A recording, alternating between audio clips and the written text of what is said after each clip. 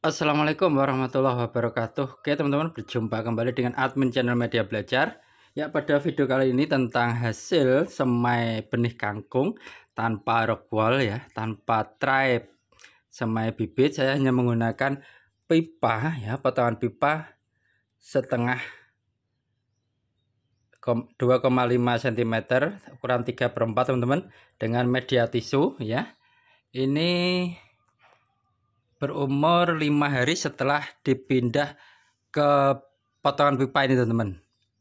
Jadi kemarin pada video kemarin itu umur tiga hari atau dua hari ini sekarang umur lima hari setelah dipindah ke dalam pipa oke teman-teman ini dipanaskan karena juga butuh cahaya langsung dari matahari.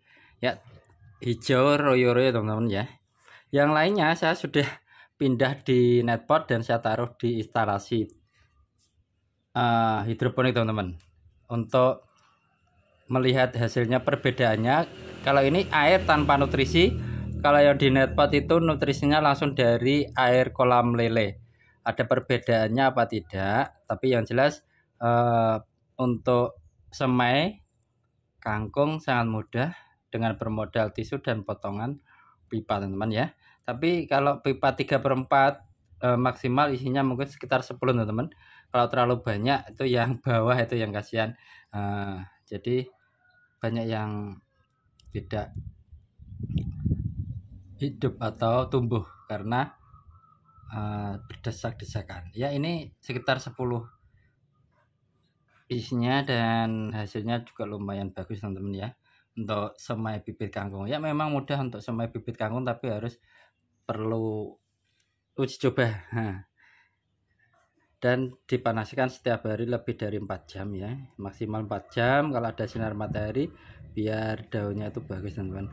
Itu teman-teman ini hasil semai belajar budidaya tanaman dengan sistem hidroponik.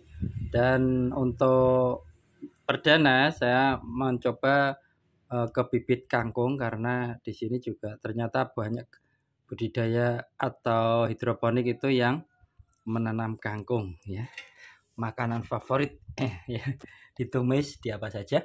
Oke insya Allah besok hari ke 67 saya mau pindah ke instalasi hidroponik. Dan bagaimana hasilnya setelah dikasih nutrisi airnya itu dari kolam air kolam lele. Teman-teman terima kasih dan saya akhiri wassalamualaikum warahmatullahi wabarakatuh